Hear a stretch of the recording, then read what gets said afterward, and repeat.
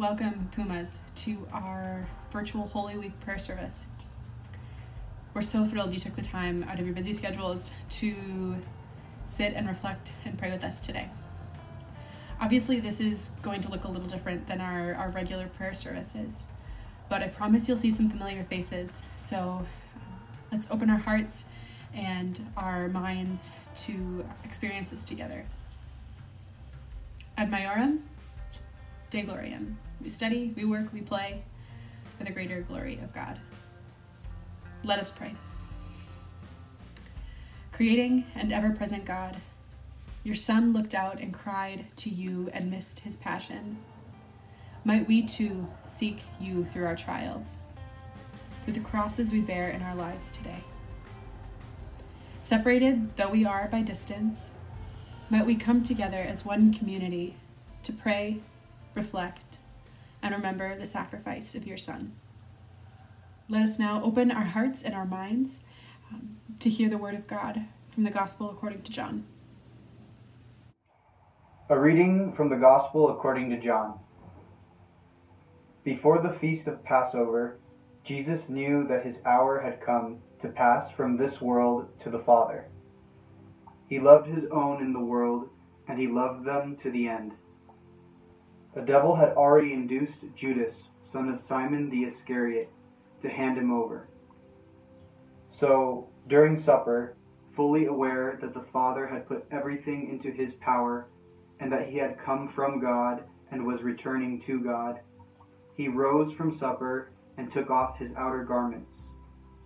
He took a towel and tied it around his waist.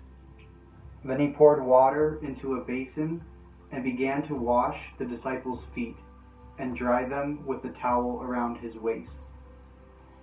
He came to Simon Peter, who said to him, Master, are you going to wash my feet? Jesus answered and said to him, What I am doing you do not understand now, but you will understand later. Peter said to him, You will never wash my feet. Jesus answered him, Unless I wash you, you will have no inheritance with me. Simon Peter said to him, Master, then not only my feet, but my hands and head as well. Jesus said to him, Whoever has bathed has no need except to have his feet washed, for he is clean all over. So you are clean, but not all. For he knew who would betray him.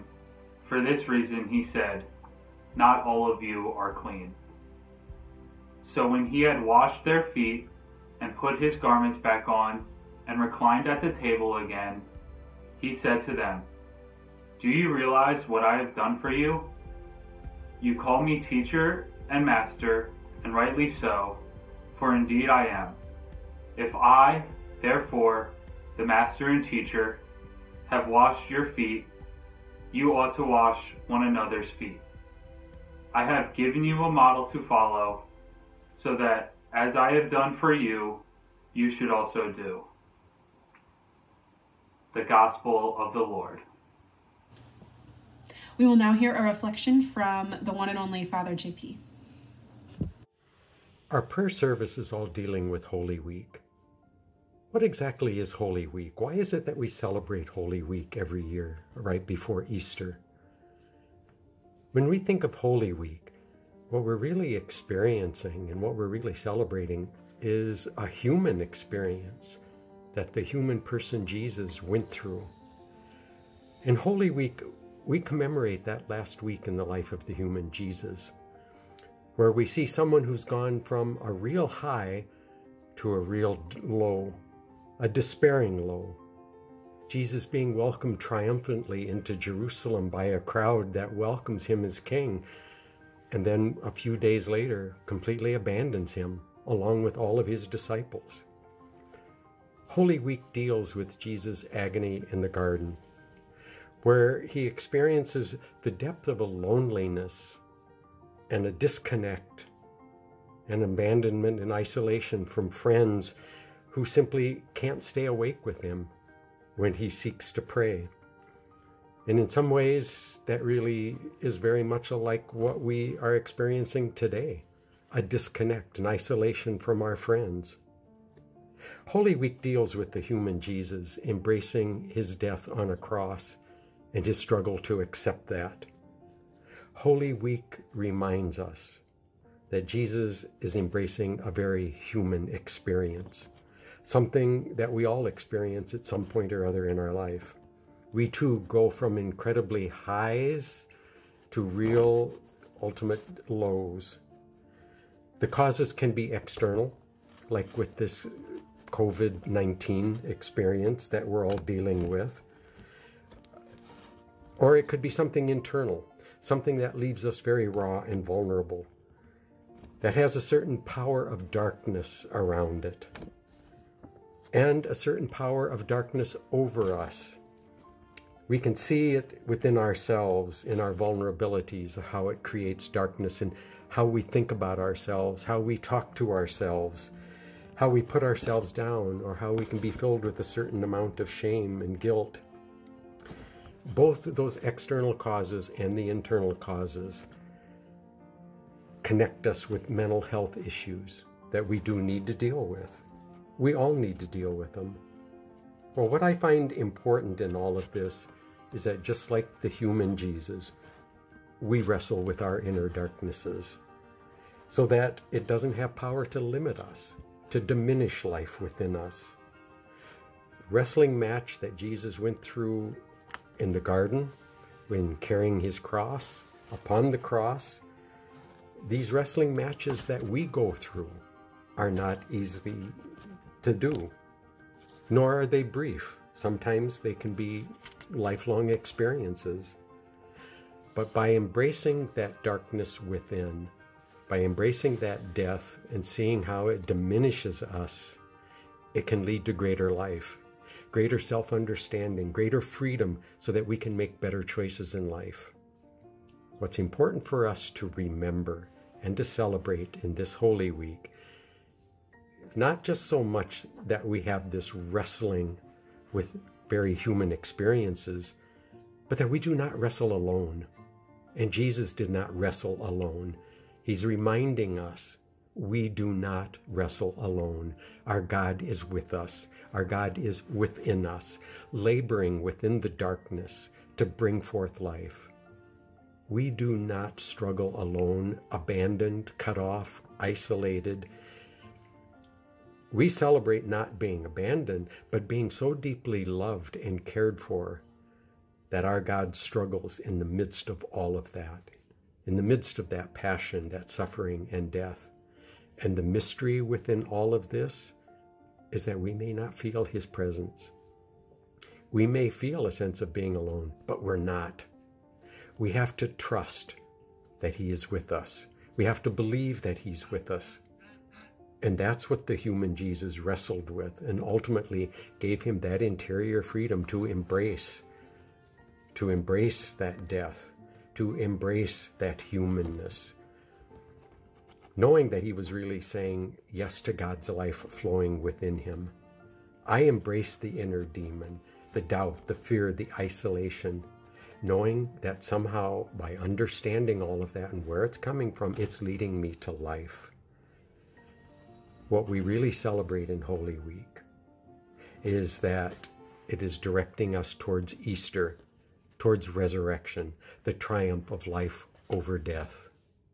And with a student perspective on things, here's Devani Montez. Hello, Christopher. It's Devani, and what Holy Week means to me, it's a time to reflect and remember all the blessings God has given me. This year, Holy Week is different because we won't be able to physically be together in Mass, but we will be able to be together through faith and spirit. During these challenging times, I'm learning how to value the simple things in life and the people in my life. Please join me in praying for our community as we begin our prayers and petitions. Let us pray for the entire Cristo Rey community students, faculty, staff, volunteers, sponsors, work partners, and all who have passed through our halls. May they be safe, healthy, and comforted during this time of uncertainty. We pray to the Lord. Faithful God, you are present during this time of distancing. Let us look to each other while we are apart, that we may never feel alone. We pray to the Lord. During this Lenten season, let us pray for all religions of the world, that during this time of confusion and fear, the message of love that all religions embody might bring peace and rest to our world. We pray to the Lord. Let us pray for all in our own respective homes. May we be emboldened to use our minds, hearts, and bodies to set the world ablaze with the fire of Christ's love come Easter. Let us pray for all those who have died and the loved ones who grieve their loss during this Lenten season, especially those who have been affected by the coronavirus. May they find comfort, comfort in the promise of the resurrection as we await Christ's own. We pray to the Lord. And for our closing prayer today, we welcome a poem by Laura Kelly Fanucci, read by Miss Brunkhorst. When this is over, May we never again take for granted a handshake with a stranger, full shelves at the store, conversations with neighbors, a crowded theater, Friday night out, the taste of communion, a routine checkup, the school rush each morning, coffee with a friend, the stadium roaring, each deep breath, a boring Tuesday, life itself. When this ends, may we find that we have become more like the people we wanted to be, we were called to be, we hoped to be, and may we stay that way, better for each other because of the worst. Amen. Let us now open our hearts and pray the prayer Jesus taught us. In the name of the Father, Son, Holy Spirit. Amen. Our Father, who art in heaven, hallowed be thy name.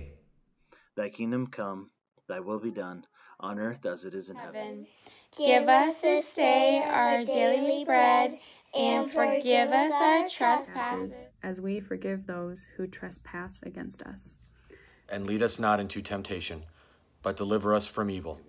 For thine is the kingdom, the power, and the glory, now and forever. Amen. As we go forth from this place, let us do as we always do in this Cristo Rey community and send one another a sign of peace. And by that, I mean take out your phones, your email, your computers, whatever you have, and send a message of love and gratitude for somebody in our community or in your own. Tell them why you love them, why you're grateful for them, and why you're thinking about them this week. Be great today, Pumas. And we close this prayer service in the name of the Father, and of the Son, and of the Holy Spirit. Pumas, let us remember that as we go forth into the world, we are guided by faith, prepared for life, and always serving others. Have a great day, Pumas.